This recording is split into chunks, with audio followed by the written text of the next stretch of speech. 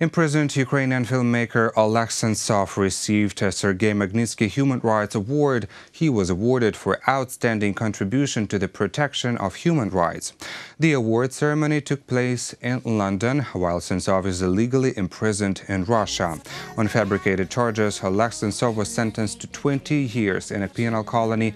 In prison, he held a 145-day hunger strike demanding the release of all Ukrainian political prisoners held in Russia and occupied Crimea.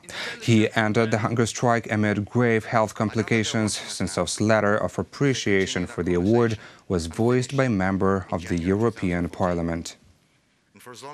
Dear Bill and dear colleagues, I am so grateful to you all for bestowing on me such an honorable award, especially one that carries the name of a person who gave his life for truth and freedom. I try to talk less and do more, which I wish you all. The irony of the situation is that upon being informed of, of my nomination for this award, I was forced to stop my hunger strike. I can be discarded and ignored for a while, but it cannot be defeated. With all best wishes to you, respectfully, Oleg Sentsov.